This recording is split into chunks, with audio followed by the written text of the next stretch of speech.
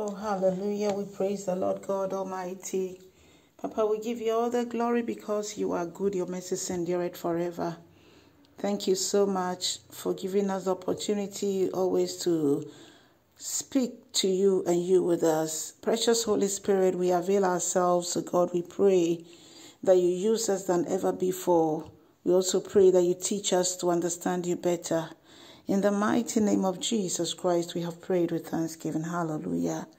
Brethren in the Lord, I welcome you once again to today's devotion. How do you understand the Word of God? We look through the Word so that the Holy Spirit Himself will teach us. Hallelujah. We'll take our devotional reading from Jeremiah chapter 29. Jeremiah 29 10 to 14. Let's hear the Word of God. This is what the Lord says You will be in Babylon for 70 years, but then I will come and do for you all the good things I have promised, and I will bring you home again. For I know the plans I have for you, says the Lord. They are plans for good and not for disaster, to give you a future and a hope. In those days, when you pray, I will listen. If you look for me wholeheartedly, you will find me. I will be find I will be found by you, says the Lord.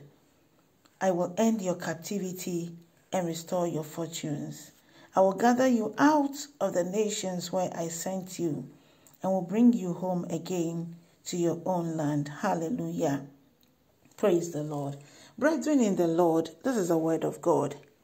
This story is talking about the Israelites. God was promising his people and although physically the Israelites went into exile, the Lord promised them that after the 70 years, He will relieve them, He will gather them from where they have been scattered. In the same way, we know that this message is for us as well.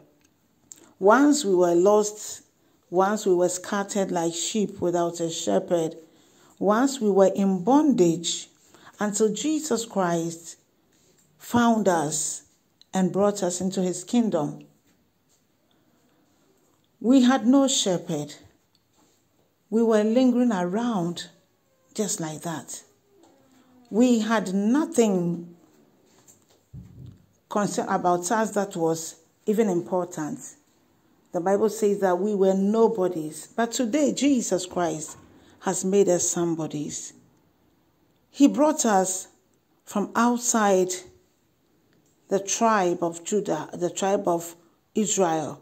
And now he has brought us into his own kingdom. He has adopted us into his own kingdom. And he says that he has done that because he knows the plans that he has for us.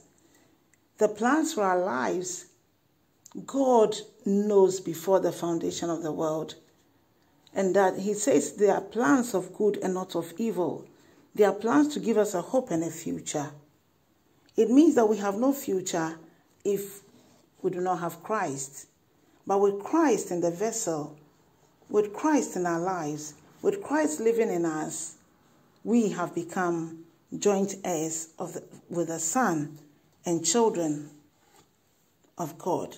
So God has given us the privilege to come before Him each and every day. He says that the only thing that divides us, the only thing that separates us from Him is sin. So if only we will run from sin, confess unto Him, and ask Him to help us to live holy lives, pleasing unto Him, surely He will grant it unto us. So let us strive to enter heaven. The Bible says that the road is narrow, but the Lord Himself, the Holy Spirit, is here to help us to see us through because Jesus is the only way to heaven. And if we have him, we have everything. Jesus is calling now. He says, come from that scattered place. Come from the no zone area that you are. He wants to walk with you. He wants to direct you. He wants, he wants you to be his child. So do not linger around. Jesus is passing your way.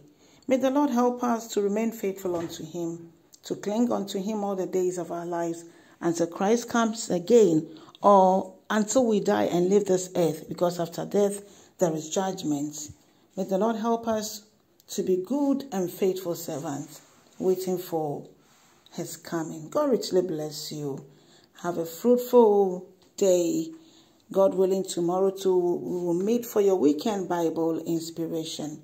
I know you've been blessed, so please share the word so that others will also join us. In Jesus' name. Have a nice day. Bye bye.